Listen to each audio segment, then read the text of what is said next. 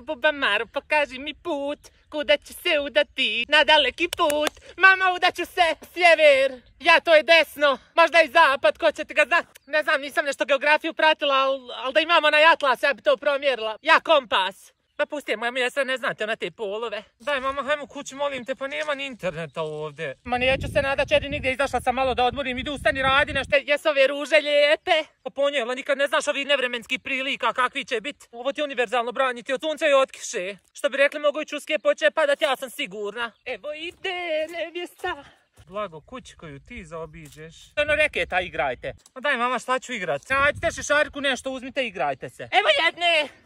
Šta je ona ono uzela?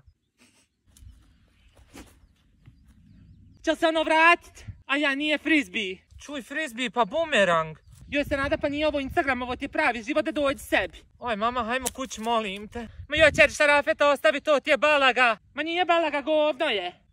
Al se stvrdlo. Aha, mire, sine.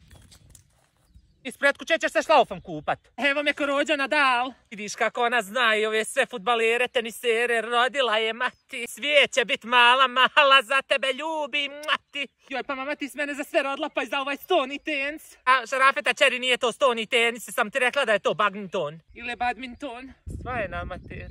Ipak sam ja u tjelesnom odgoju bila najbolja, bolja nego u geografiji i fizici i hemiji i matematici. Ništa se tiče ne skiraj dok ti imaš materinu školu. Daj mama, hajmo kući, molim te, pa nema ni interneta ovdje. Eto, tačno ovu djecu nikud ne treba povest. Hajte, ustajte. Nećete više kud sa mnom, eto. Eto, zapamtite kad sam vas nekud povela. A sad kad kući dođem, sad ću struje počupati i vi vaš internet. Hajmo.